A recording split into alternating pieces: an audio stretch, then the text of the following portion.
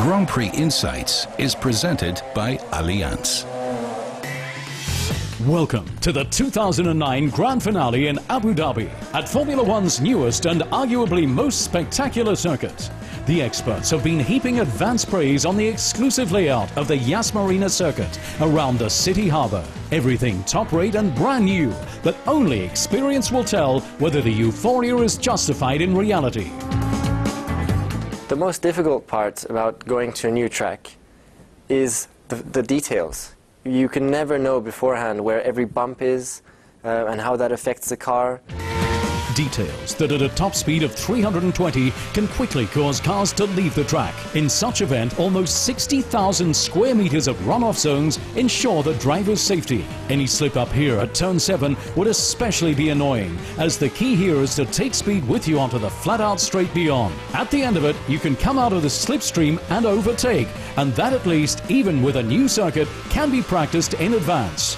To prepare for a new track, um, we use the simulator that we have at Williams, which is uh, it's like a computer, uh, a big computer, where you feel just like as if you were driving in your real Formula One car. So you have the real track in this computer, and, uh, and that's how you then practice.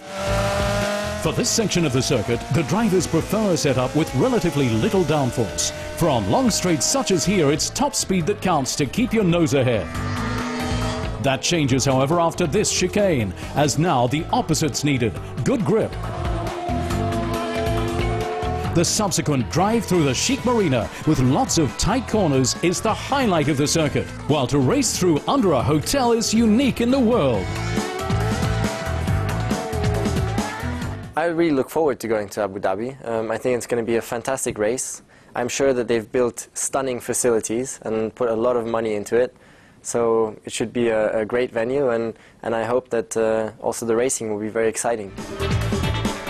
50,000 fans are set to cheer on the drivers at this historic first race in Abu Dhabi.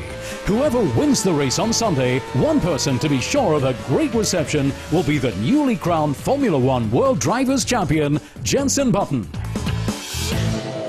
Grand Prix Insights was presented by Allianz.